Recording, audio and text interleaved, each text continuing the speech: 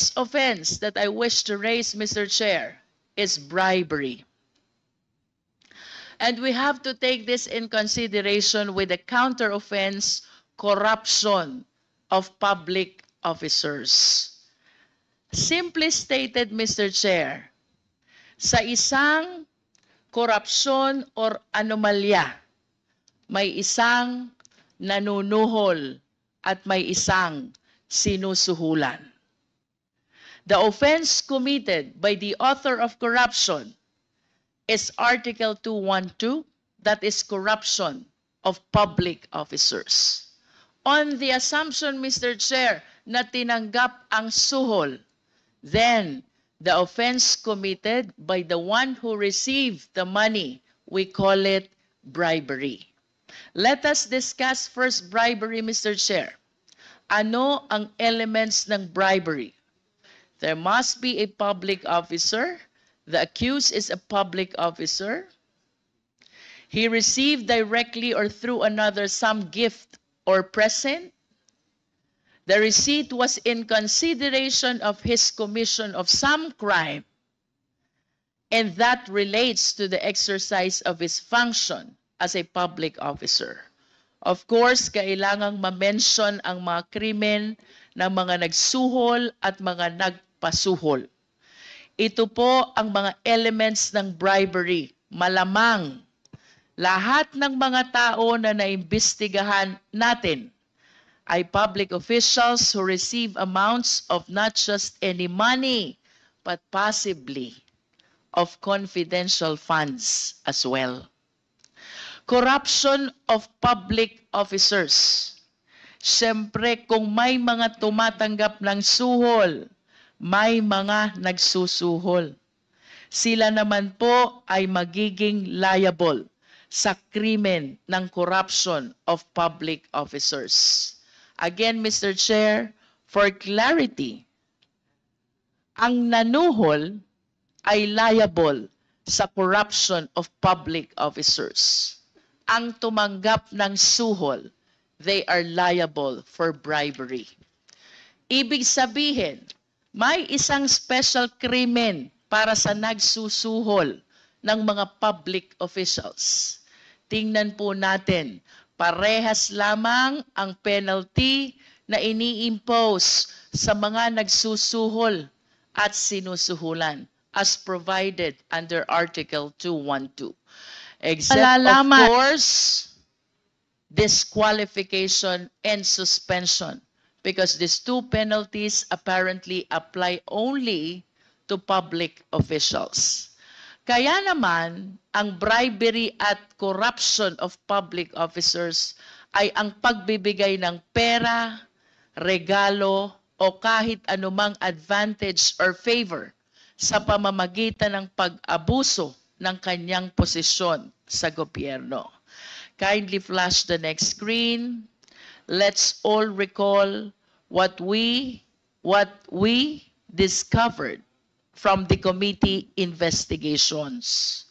May mga empleyado sa DepEd na tumanggap ng white envelopes in the same period within the confidential funds for DepEd were released. Hindi po ba kahina-hinala yan? And you can see from the screen, OVP executive admits, inamin, handing cash envelopes to DepEd officials. Next slide, please. We may recall it was former USEC Gloria Mercado who first revealed to us that she received nine envelopes with 25,000 in a span of nine months. Ito'y ibinigay ni Sunshine Fajarda ang mga envelopes kay Yusek Mercado at sinabi na galing ito sa Vice Presidente Sara Duterte. Malinaw na malinaw na ang ganitong pagkakataon ay hindi normal. Hindi normal na ang boss ay nagbibigay bigla ng sobre na may 25,000 each for nine months to her very own head of procurement.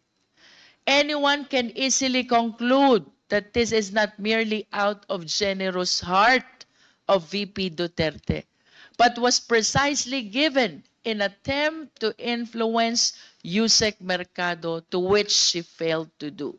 And we may recall, Mr. Chair, during our interpellation with Yusek Gloria Mercado, she admitted have believing that those envelopes were given to her to influence her decision as hope. Next slide, please. It was not a surprise when former Chairman Resty Osayas, this is our second DepEd official, he is the chairman of DepEd Bids and Awards Committee. He admitted siya rin ay nakatanggap ng sobre na may laman na pera. Again, another key official in the procurement process of the DepEd. And yet again, another act of corruption plaguing in the DepEd. Yung nauna, Mr. Chair, Yusek Mercado, he, she was the hope of DepEd. And this time, we have Chairman Resty Osayas, Chairman of DepEd Bids and Awards Committee. Both admitted having received envelopes with money inside. Next slide, please. Of course, sino pong makakalimot sa ating Chief Accountant ng DepEd, Ms. Runa Catalan. Like former Yusek Mercado, like Mr. Osayas, Ma'am Catalan received the same number of envelopes containing the same amount of money in the same period of February to September 2023. Again, another key official in the DepEd who necessarily deals with the public funds of the DepEd was blinded by an alleged gift from VP Duterte. But it was later on revealed that she was requested by Sunshine Fajarda, the very person who handed her the envelopes, to sign the liquidation reports without its supporting documents. Again, corruption prevailed. Mr. Chair, in line with the issue of bribery and corruption, I wish to manifest that there is a chance that the three key officials of DepEd, who I previously mentioned, Yusek Mercado, Mr. Osayas, Ms. Catalan were not only employees of DepEd who receive envelopes with cash.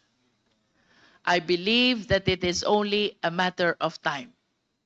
And I hope that light be shed on this alarming revelation.